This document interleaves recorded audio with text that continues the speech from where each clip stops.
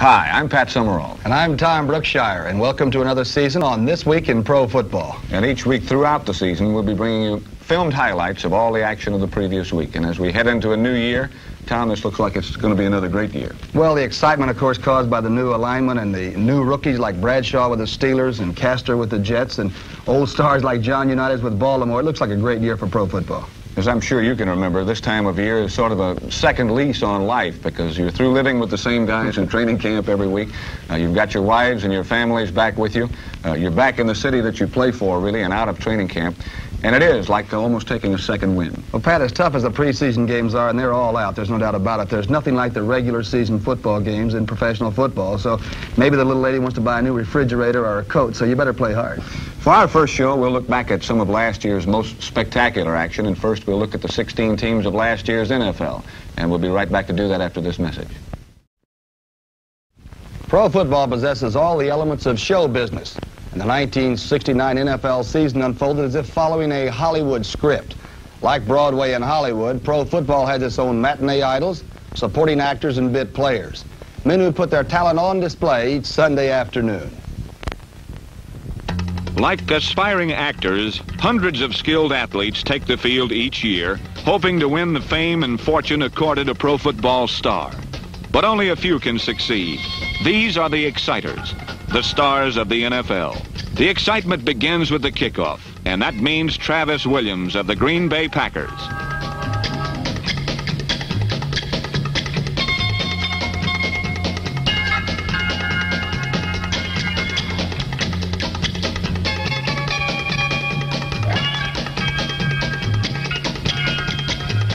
He's called the Roadrunner, and his special talent is flat-out speed that allows him to crack open a game at any moment.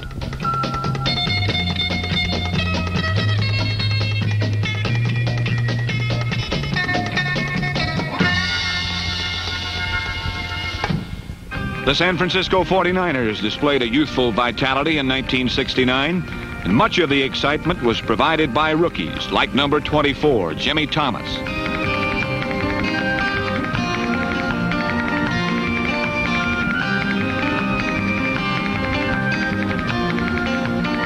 The Philadelphia Eagles haven't had much to cheer about in recent years, but newcomer Harold Jackson, number 29, led the NFL in receiving yardage and combined with Ben Hawkins, number 18, to give the Eagles two long-distance threats and new hope for the future.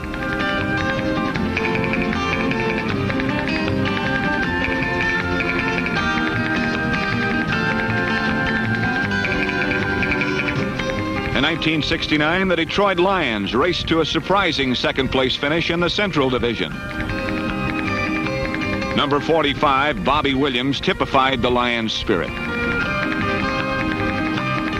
Filling in for injured players, Williams led the NFL in kickoff returns and combined with veterans like Lem Barney, number 20, to bring new thrills to Detroit.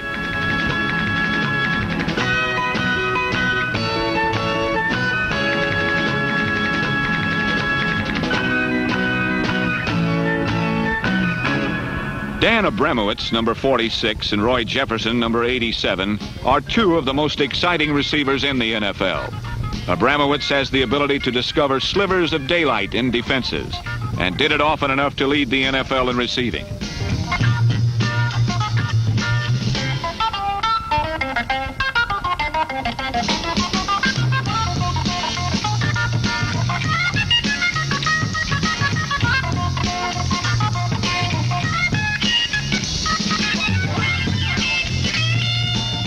While Abramowicz specialized in the short pass, Pittsburgh's Roy Jefferson, number 87, specialized in the long gainer.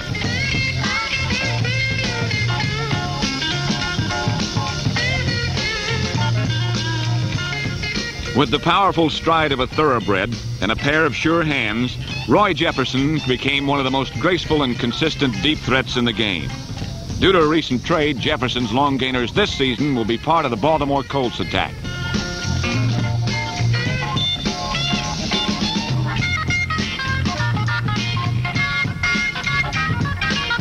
In St. Louis, the big surprise was number 44, John Gilliam, who provided a bright ray of hope in an otherwise dark year for the Cardinals. Gilliam averaged over 20 yards per catch. and against Green Bay rocketed 100 yards with a kickoff.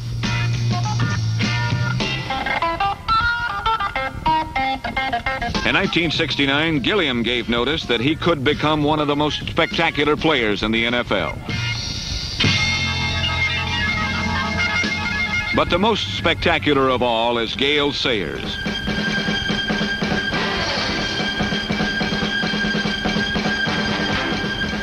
Although the Bears stumbled through their worst season in history, Sayers once again led the NFL in rushing.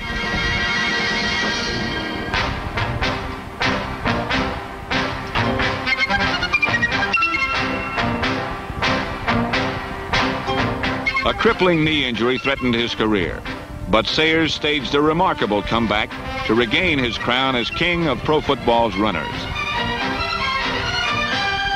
While Sayers has been a star for several years, a group of young runners made their debut in 1969, leading defenders on a wild chase. The NFL audience was introduced to a group of overnight successes. Calvin Hill of the Dallas Cowboys.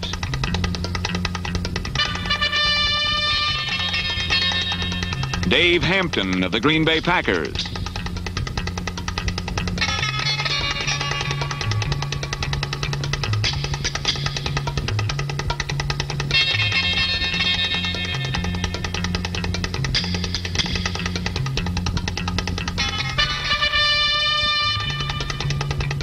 Harmon Wages of the Atlanta Falcons.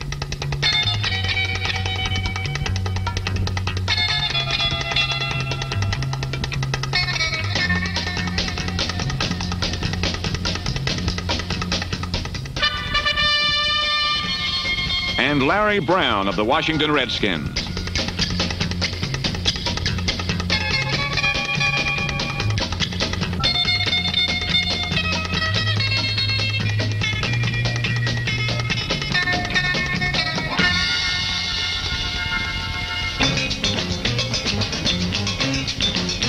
Most rookies expect to spend their first year on the sidelines, but the Cowboys' Calvin Hill burst into the limelight right away. From Yale University, Hill was named Rookie of the Year and became the most feared power-speed combination since Jimmy Brown. His hurdling running style became an NFL trademark.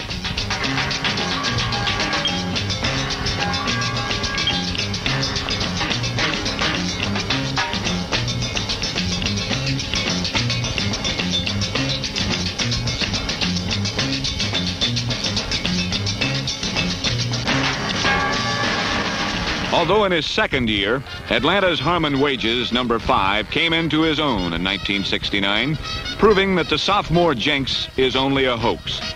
Wages resembles his boyhood idol, Paul Hornung, in number and in running style and is one of the many youthful reasons the South may rise again in Atlanta.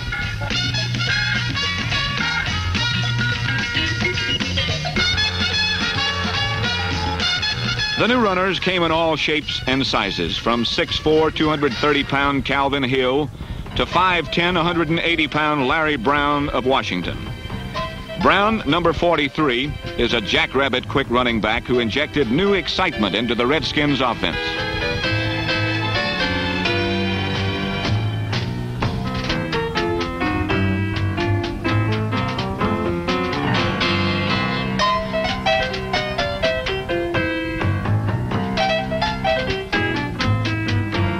He's fast and shifty, but the trait that allows Brown to play in a big man's game is complete disregard for danger.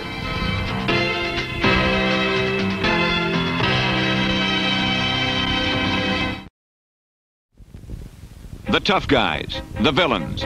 Like Hollywood, Pro Football too has its heavies, and they sound like movie characters. The Deacon. The Rabbit. Bubba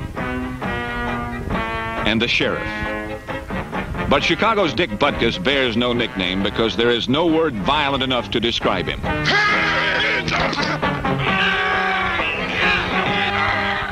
him in half! Jimmy Butkus! Kill him!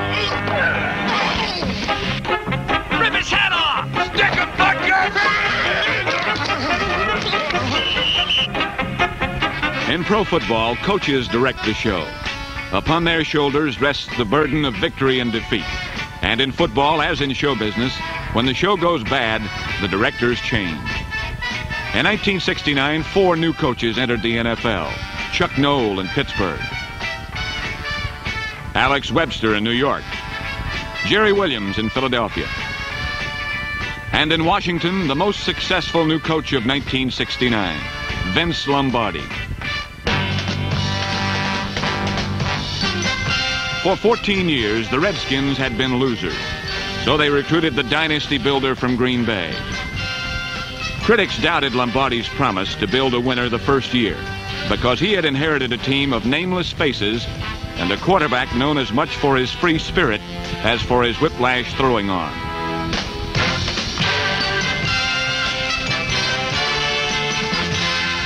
After enduring some frustrating moments, the Lombardi discipline began to take effect. Sonny Jurgensen and Charlie Taylor became one of the most prolific combinations in the league.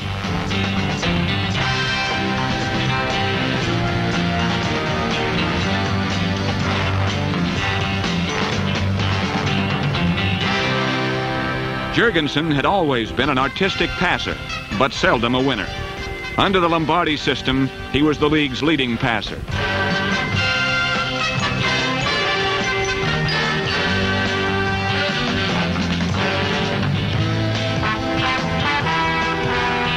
Vince Lombardi brought the victory smile back to Sonny Jurgensen as the Redskins enjoyed their first winning season since 1955. The quarterback is at the center of the drama. Around him, the plot unfolds.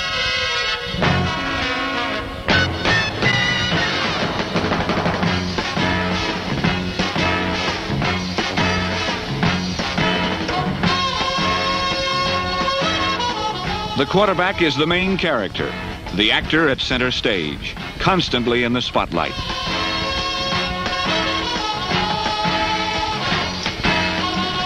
He lives in a world of pressure, and his success depends on how well he withstands the punishment.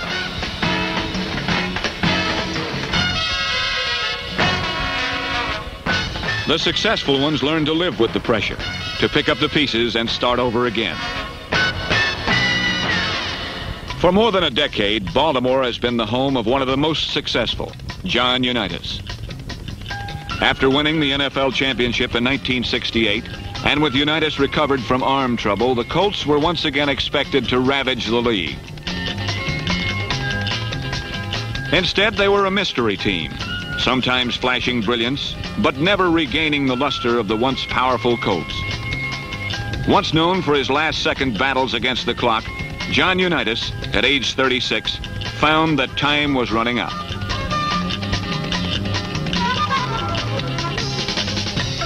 Green Bay also witnessed the fading of an era. For 13 years, Bart Starr had been a clever, calculating leader. But in 1969, Starr fell prey to age and injury, and his pupil, Don Horn, inherited the job. With the retirement of vintage Packer heroes like Willie Davis, Henry Jordan, and Boyd Dowler, any future hope will ride on the talent of youngsters like Horn and number 25, Dave Hampton.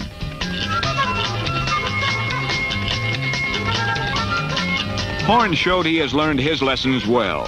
And although the Pack never made it back in 1969, Horn's five touchdown passes against St. Louis provided ample evidence that they may make it in 1970 as the Packers witnessed the dawn of a new era and the passing of the old.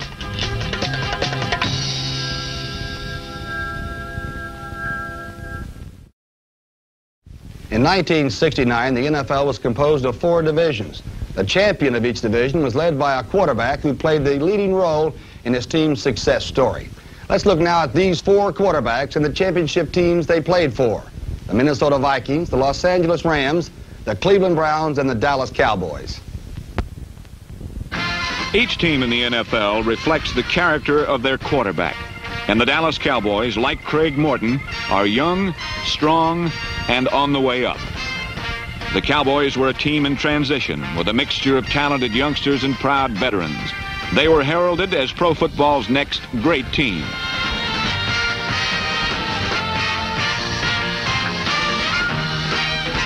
Morton had played in the shadow of retired Don Meredith. But in 1969, showed he had enough talent of his own to lead the Cowboys to the Capitol Division title.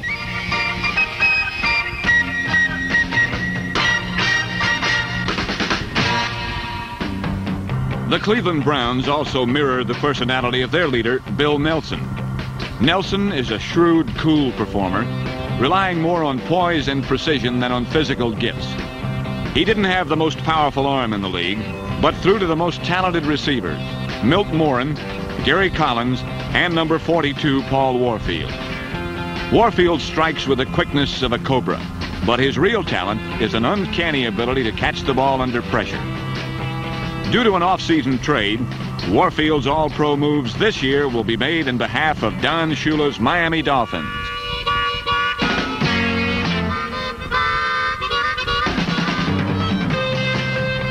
The Browns tore up the Century Division with a quick striking offense and a defiant team attitude that challenged every opponent. In rain-drenched Dallas, the Browns met the Cowboys for the Eastern Conference title and Dallas knew right away it wasn't their day.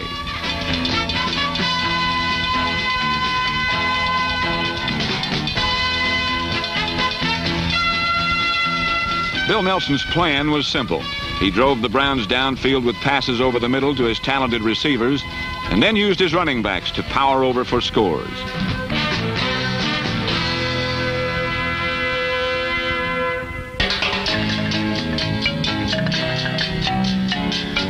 Craig Morton's soggy throwing arm misfired, and Cleveland was quick to turn mistakes into points.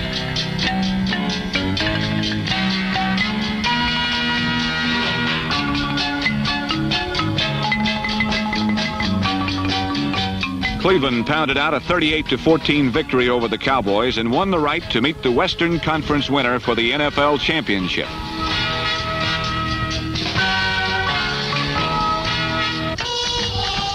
In the Western Conference, the Los Angeles Rams have been known historically as a brutal, hard-hitting team whose reckless play forces opponents into mistakes.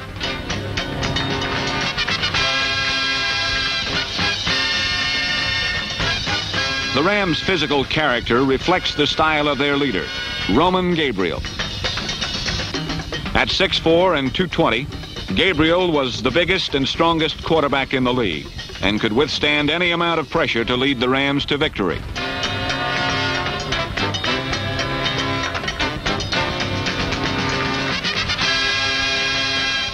Gabriel's rambling style led the Rams to the Coastal Division title, and he received Pro Football's Academy Award as the most valuable player.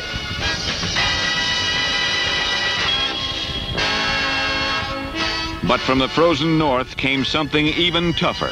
An awesome collection of brawlers who sounded like characters in a Western movie. Injun Joe and the Purple Gang.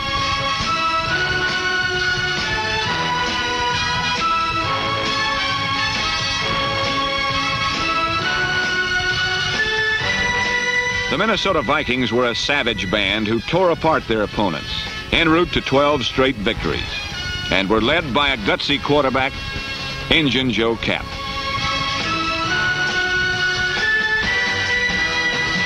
He was a leader not only in word, but in deed. And with guts more than ability, he led the Vikings to the Central Division title.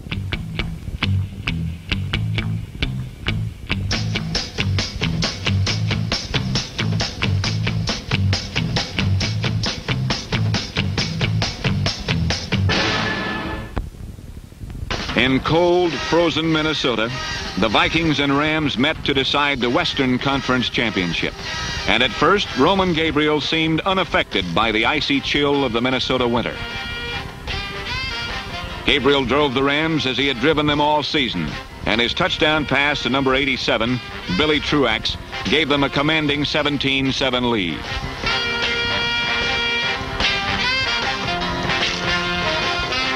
But Joe Kapp is toughest with the odds against him. He is a gambler.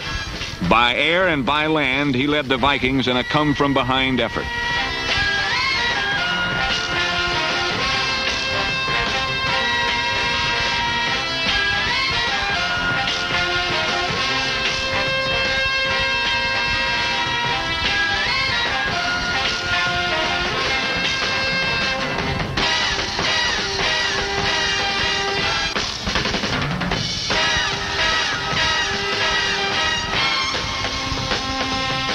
While Kapp ignited the offense, a stubborn Viking front four ended any title hopes the Rams may have had and carried off the Western Conference title.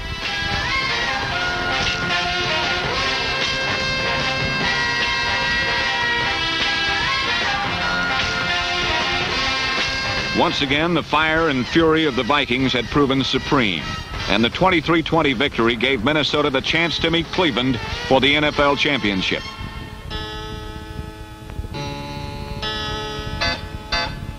The frozen tundra of Metropolitan Stadium was the setting for the 50th NFL championship between the Vikings and the Cleveland Browns.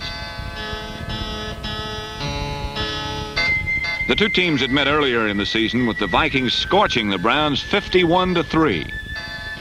On this bitterly cold day, the only things that remained warm were Joe Kapp's throwing arm and a grudging Viking defense that allowed Cleveland only one touchdown all afternoon.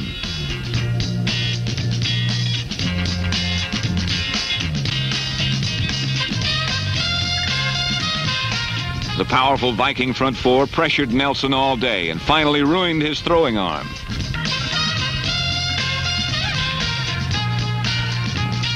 The Browns were dead, and like a vulture, Joe Kapp moved in to picket their remains.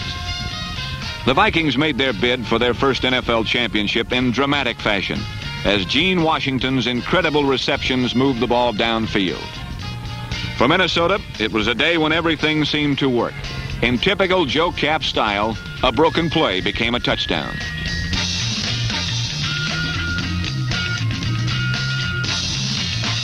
The Vikings made it look like a runaway as they piled up 24 points in the first half.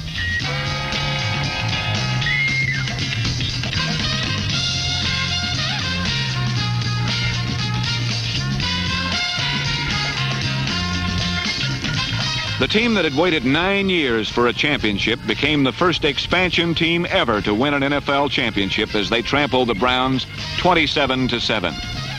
The only thing that stood between the Vikings and football immortality was a team from that other league.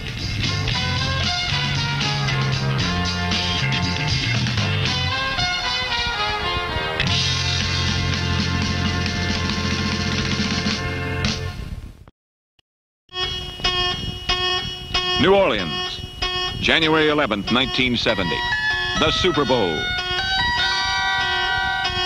As Kansas City's Len Dawson walked the field before the game, he reflected on what he had suffered to get there. He had suffered more injuries than a normal man could endure, but he also felt the pain of a forgotten man. 14 years before, Len Dawson had been a number one draft choice in the NFL, but was rejected because they said he wasn't good enough. Now he was back to haunt them, and this was his revenge. He spoke for all those who had been rejected by the NFL. He spoke for Don Maynard, Ben Davidson, Jack Kemp, and others.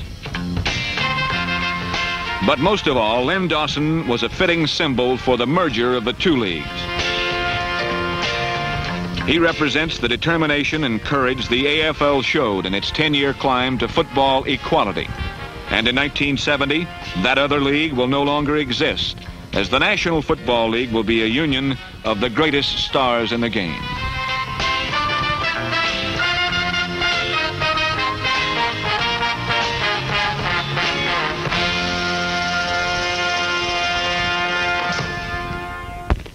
The world champion Super Chiefs, and what better way to start a new year than a replay of last year's Super Bowl? I have to ask you, Tom, who you're picking. Well, I think Hank Stram sends the Chiefs into a ball game better prepared than any team in pro football. And I think Lenny Dawson knows what he can and can't do uh, as well as any quarterback.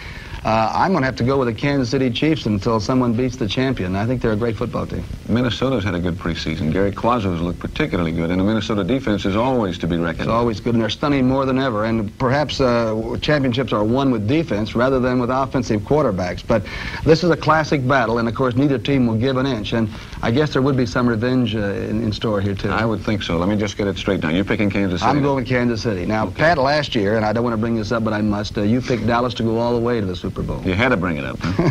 I still think, Tom, uh, that Dallas has got some of the great talent in this professional game. I think probably if you just go strictly on ability, that Dallas ranks right up with the best of them, Kansas City, Minnesota, whoever you might pick. They're a great football team. I don't know what's missing. But again, I think they're going to be good. Uh, what do you feel about uh, the first meeting between Cleveland and the New York Jets? Well, this has to be one of the great rivalries that's going to be building up through the years. Uh, the Browns will go with the NFL-type zone defense, and uh, I think the Colts will bear me out.